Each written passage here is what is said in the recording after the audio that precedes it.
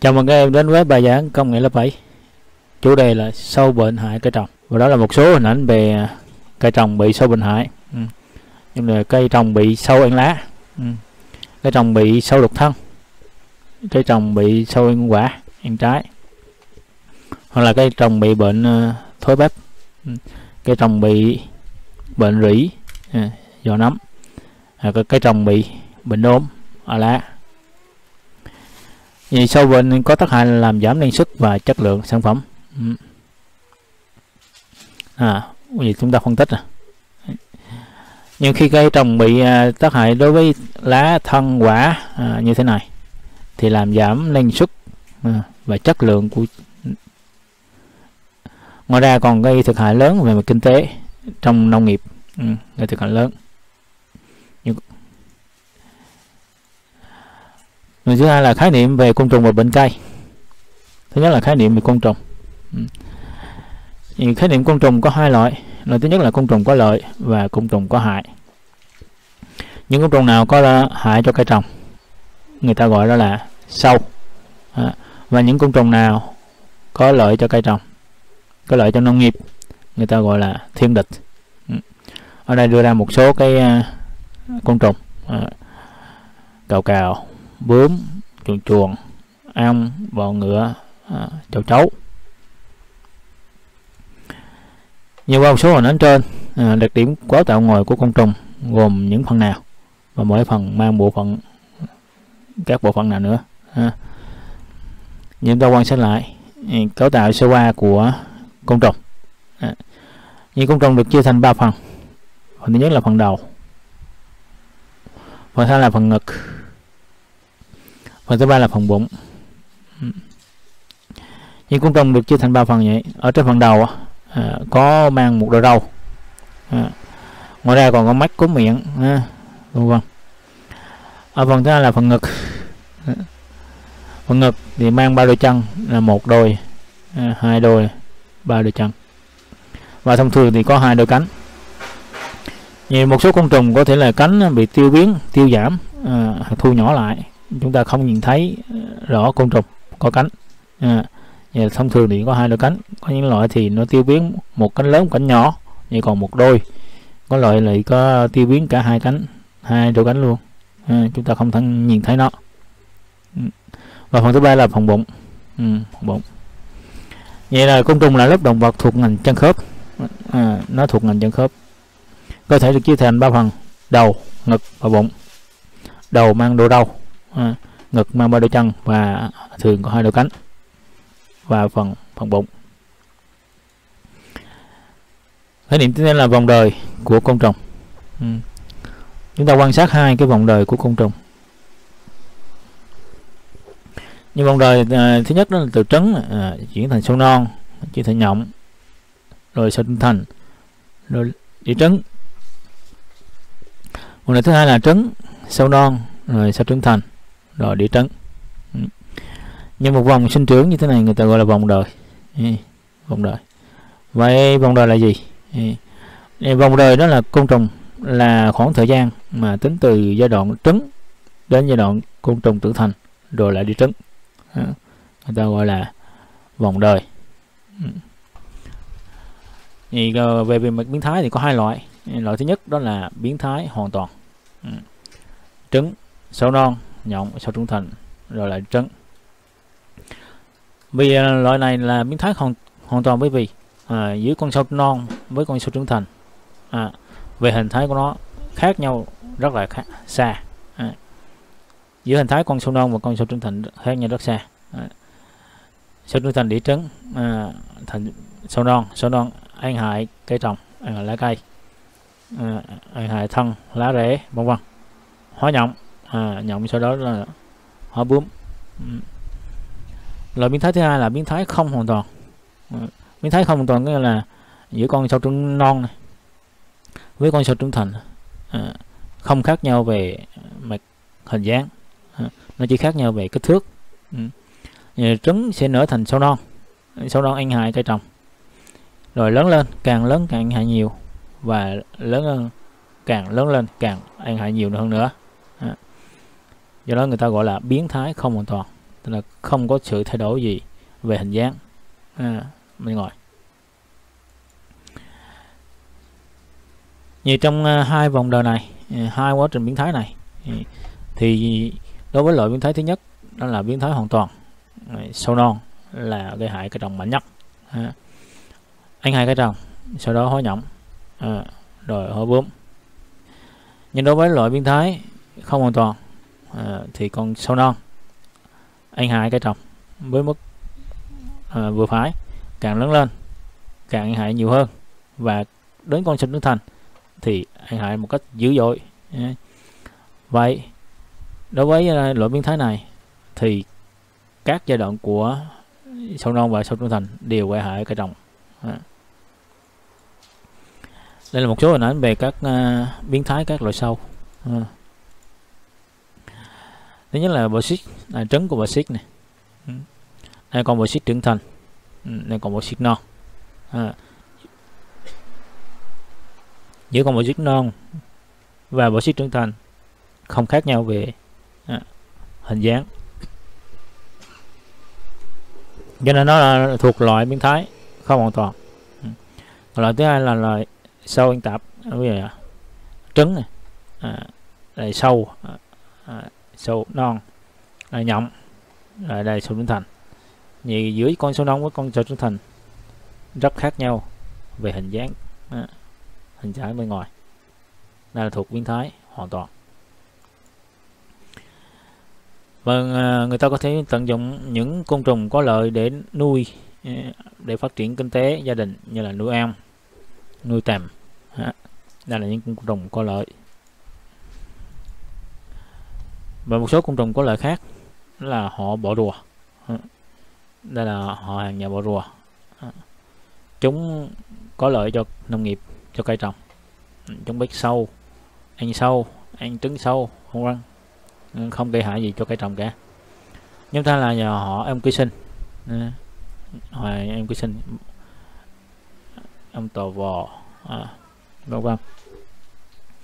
Những loại ờ, ăn này nó sẽ đi tìm à, sâu và trứng để mà gây hại ăn hại ăn chúng ăn trứng sâu và trứng sâu. Thứ ba là bọ ngựa. Bọ ngựa là cũng là một loài sinh vật có lợi cho nông nghiệp ừ, cho cây trồng. Ừ.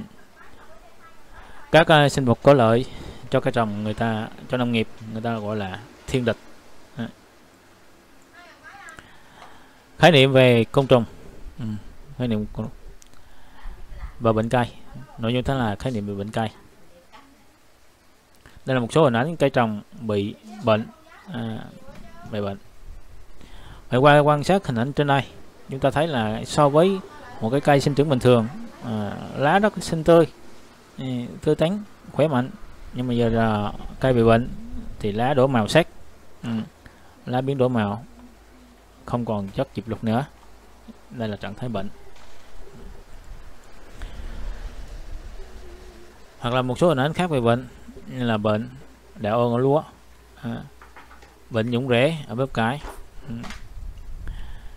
hoặc là bệnh khảm ớt à, quả ớt rất sùng sùi xì sần sùi à, hoặc là bệnh thắng thư à, ở dưa à, thắng thư. Trên lá có những đốm vết lét à, còn đây là đối với bếp cải thì bị thối. À, thối. Hoa quả sần sùi ừ. đây là dấu hiệu của bệnh. Ừ. Và đây là quá trình biến đổi không bình thường. Ừ, sinh trưởng không bình thường của cây. Nguyên nhân là do tác động của các yếu tố à, bên ngoài như là đất đai khí hậu thời tiết hoặc là chăm sóc bón phân rồi do vi khuẩn virus nấm vân vân sẽ làm cho cây trồng bị nhiễm bệnh và có những thay đổi về hình thái cấu tạo như thế này. Hoặc là bệnh ờ, đốm lá ở cây đậu phộng, hay gọi là cây lạc ờ, đốm lá.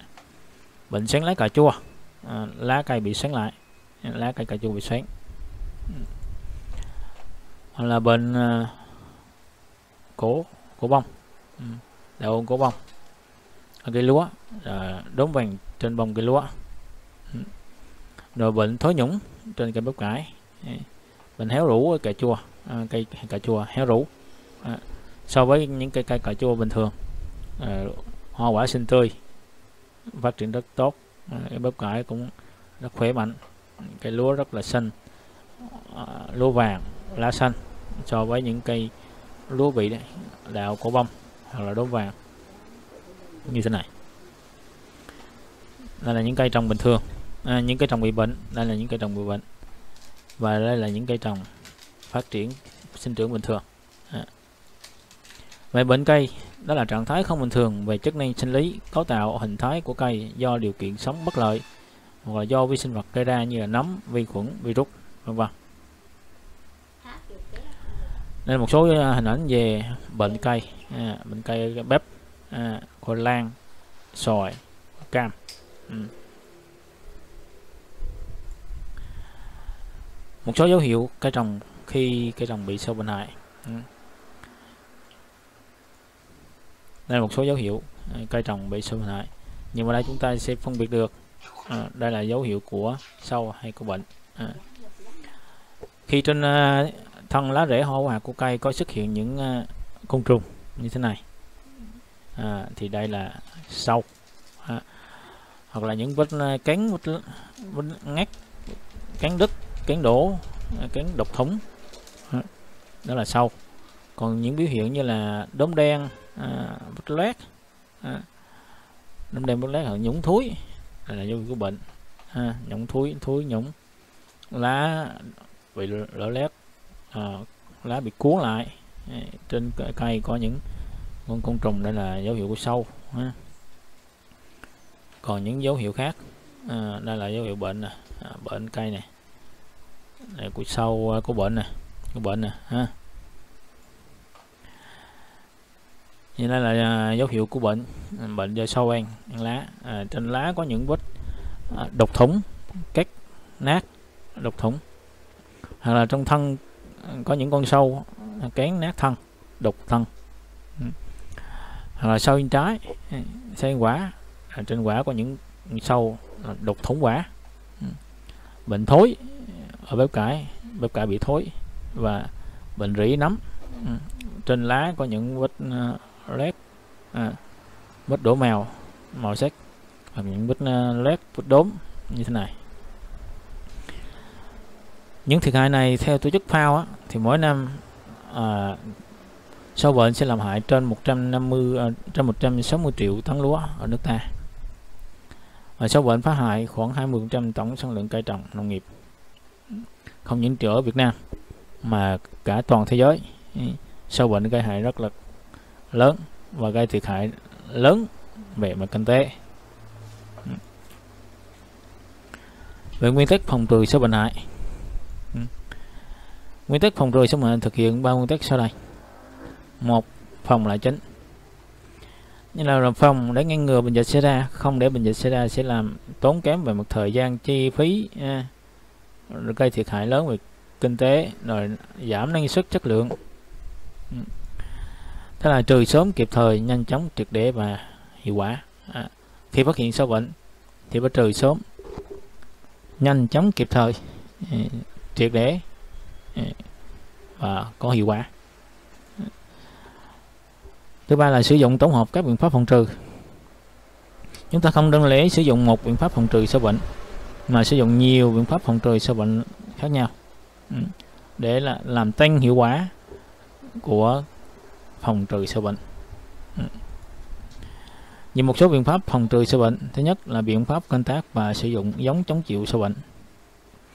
Nội dung của các biện pháp này là vệ sinh đồng ruộng, làm đất, gieo trồng đúng thời vụ, chăm sóc kịp thời bón phân hợp lý, luân phiên các loại cây trồng khác nhau trên một đơn vị diện tích để sử dụng các giống chống chịu. Và thì mục đích của các biện pháp này thứ nhất là vệ sinh đồng ruộng và làm đất. À, là nhằm mục đích là diệt mầm móng sâu bệnh nơi ẩn náu của sâu bệnh. À, như sâu bệnh có thể là ẩn náu trong các bụi cây bụi cỏ à, ở ven bờ ruộng à, hoặc dưới gốc rạ gốc, à, gốc ngô à, dưới lòng đất. Vậy chúng ta phải vệ sinh đồng ruộng làm đất cuốc xới để diệt mầm móng nơi ẩn náu của sâu bệnh thế là gieo trồng đúng thời vụ là tránh thời kỳ sâu bệnh phát triển mạnh. Nhà nếu như chúng ta gieo trồng đúng cái thời điểm à, thuận lợi cho việc phát triển sâu bệnh thì cây trồng sẽ bị gây hại. Không sinh trưởng phát triển tốt à, và làm giảm năng suất chất lượng nông sản và chăm sóc kịp thời bón phân hợp lý nhằm để tăng sức chống chịu sâu bệnh cho cây à, chăm sóc chúng ta là tưới nước bón phân à, thường xuyên thêm thêm đồng để là giúp cho cây trồng tăng sức chống chịu với sâu bệnh. Luân phiên các loại cây trồng trên một đơn vị diện tích à, là nhằm thay đổi điều kiện sống và nguồn thức ăn của sâu bệnh. Ví dụ như là chúng ta thường xuyên thay đổi giống cây trồng như là vụ 1 chúng ta trồng ngô vụ 2 chúng ta trồng lúa. À, vụ 3 chúng ta trồng đậu. Đó là luân phiên các loại cây khác nhau trên một đất đất để nhằm thay đổi điều kiện sống và nguồn thức ăn của sâu.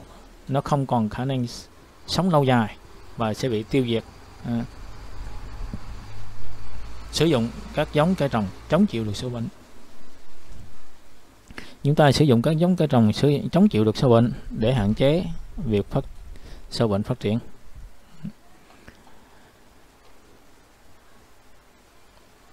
Như vậy biện pháp phòng canh tác vào sử dụng giống chống chịu là vệ sinh đồng ruộng này, làm đất gieo trồng đúng vụ này, chăm sóc kịp thời.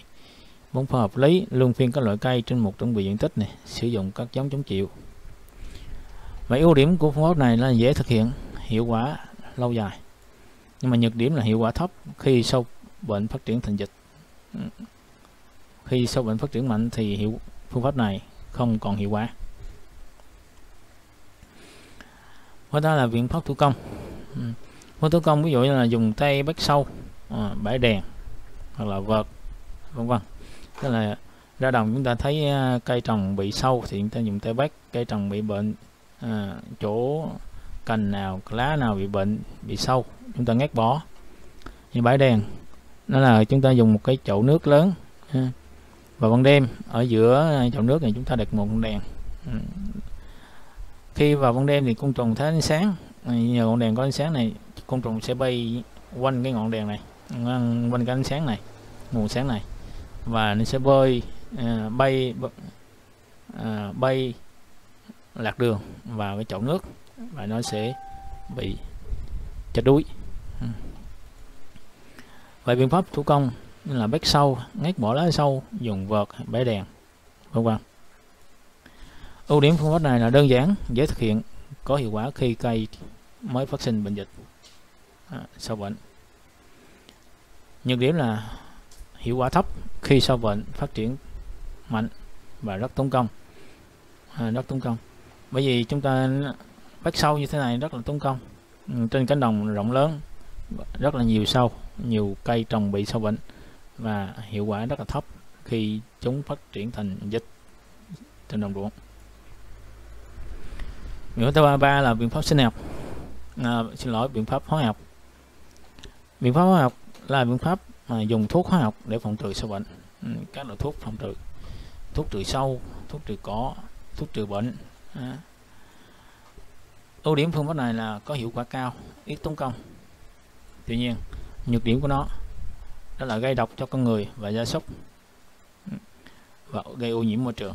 Ừ hiệu quả phương pháp này là hiệu quả cao. Ừ, Ít tốn công. À, phun diệt trừ phun thuốc lên đó, thì diệt trừ sâu bệnh được ngay. Tức thật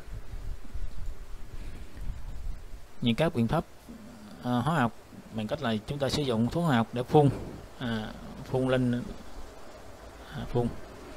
Hoặc là bón vào đất à, hoặc là ngâm mạc nhưng là khi lưu ý khi sử dụng kênh thuốc hóa học phòng trừ sâu bệnh là chúng ta phải đảm bảo an toàn vệ sinh. À, an toàn. Đội mũ đeo khẩu trang áo dài tay bao tay quần dài ủng à, vân vân. Ừ, và chú ý là hướng gió. À, hướng gió không để hướng gió ngược vào. À, tức là hướng gió đi ngược và hướng gió làm cho gió sẽ mang à, cái thuốc bay vào người. Không đi ngược hướng gió mà phải theo thuận chiều gió.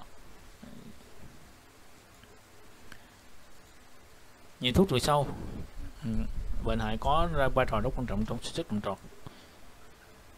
Một số loại sâu uh, thuốc cho bệnh hiểu được nội dung đó ghi trên nhãn thuốc sẽ góp phần tăng hiệu quả sử dụng đồng thời giúp chúng ta đảm bảo được an toàn khi sử dụng và bảo vệ môi trường. Ừ. Như là sử dụng thuốc hóa học có thể là làm hại đến môi trường thủy sản à, môi trường đất, môi trường nước, môi trường không khí, vân vân. Ừ. Để nhận biết một số các dạng thuốc phòng trừ sâu bệnh à, thứ nhất là thuốc bột thấm nước. Bột thấm nước người ta ký hiệu là VKP BTN DF WDF G. Thuốc bột hòa tan trong nước. Ký hiệu là SP hoặc là BHN thuốc hạt. Ký hiệu là G. GR hoặc là H. Thuốc sữa IC à, ND thuốc nhũ dầu SC ừ. đặc điểm để nhận dạng. Ừ. thuốc bột thấm nước là dạng bột tơi màu trắng hay trắng ngà có khả năng phân tán trong nước. Thuốc bột hòa tan là dạng bột màu trắng trắng ngà có khả năng hòa tan trong nước. Thuốc hạt hạt nhỏ cứng, không vụn, trắng hay trắng ngà. Thuốc sữa, lỏng trong suốt, có khả năng phân tán trong nước với dạng hạt nhỏ và có màu độc như sữa. Và thuốc vô dầu là dạng lỏng, khi phân tán trong nước cũng tạo nên hỗn hợp dạng sữa. Một số uh, cách phân biệt về nhãn thuốc. Thứ nhất là phân biệt độ độc. Khi mà trên nhãn thuốc có ký hiệu là cái đầu lâu và hai cái dấu chéo à, một cái dấu chéo này thì đó là nhóm thuốc rất là độc.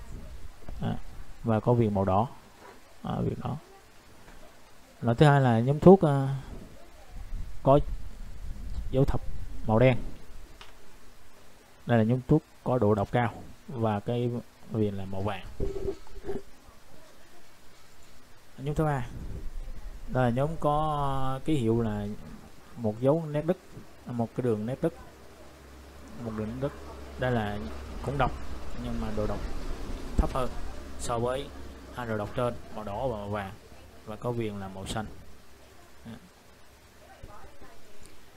Ví dụ một cái nhãn thuốc như thế này, chúng ta phân biệt nó là đây thuộc nhóm độc độc cao. Bởi vì trên cái nhãn thuốc có cái dấu thập màu đen. Và viền là màu vàng. Và người ta ghi rõ là độc cao. À. bên dưới cái nhãn thuốc này chúng ta nên lưu ý khi sử dụng thuốc. Đó là những uh, ký hiệu như là à, bao tay mũ à, ống phun hướng gió này phun cuộn gió này. Sau khi phun xong phải rửa tay mặc áo dài quần dài vân vân. Đó là an toàn vệ sinh khi sử dụng thuốc. Về tên thuốc. Ừ, tên thuốc.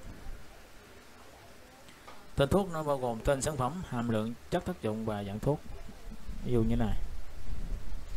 À, ví dụ như là thuốc Banda chức năng SP như Banda có nghĩa là thuốc trừ sâu Banda tên thuốc 95 tức là có chứa 95 phần trăm chất tác dụng à, tác dụng SP là một dạng thuốc thuốc bột tan trong nước à.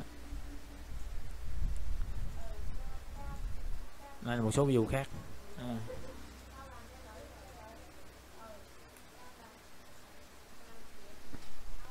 ngoài ra tên thuốc này trên cái nhãn thuốc này chúng ta còn thấy là công dụng của thuốc này cách sử dụng này khối lượng và thể tích này quy định và an toàn lao động và địa chỉ sản xuất ha.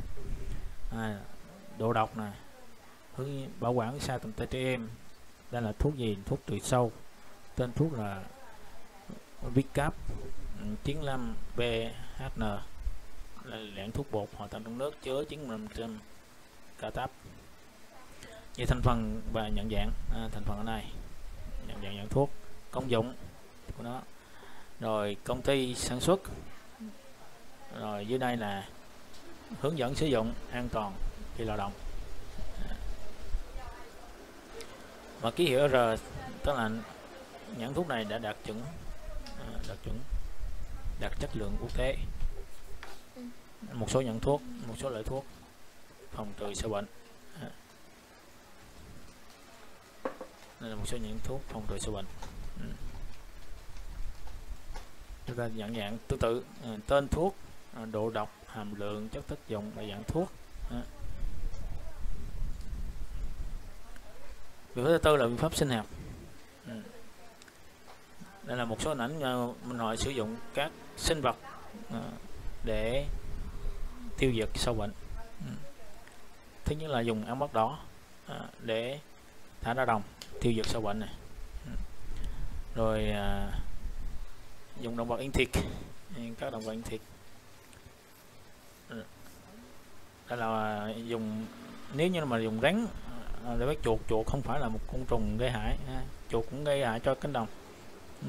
nhưng mà chúng ta có thể sử dụng thêm các biện pháp sinh học khác, như là dùng mèo bắt chuột này, dùng rắn để bắt chuột, ha. chuột không phải là một côn trùng mà một loại loại sinh vật gây hại ừ. hoặc là dùng bộ xích của ngỗng để ăn sậu ăn sậu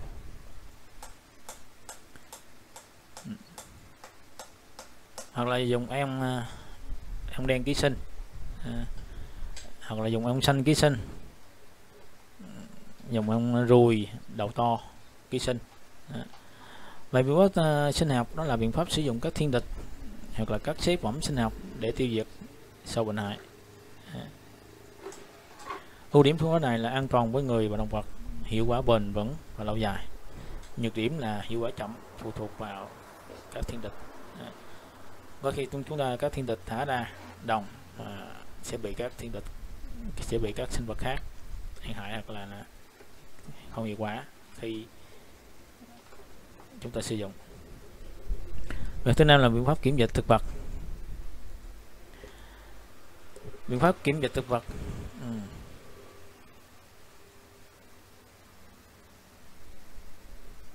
là chúng ta kiểm tra nông sản khi chuyển từ nơi này sang một nơi khác à, ưu điểm của phương pháp này là ngăn chặn sự lây lan của dịch bệnh.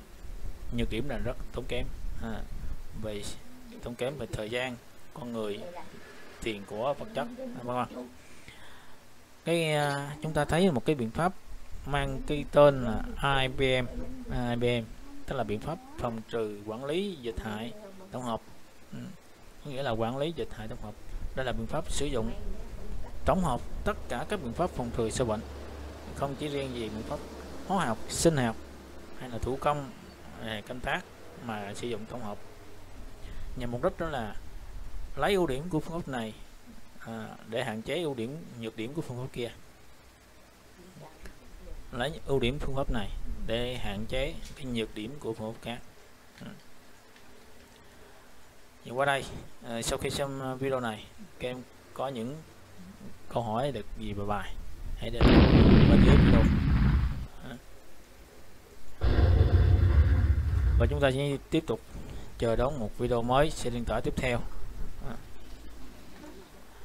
Xin chân thành cảm ơn các em đã quan tâm theo dõi và hẹn gặp lại các em trong bài giảng tiếp theo.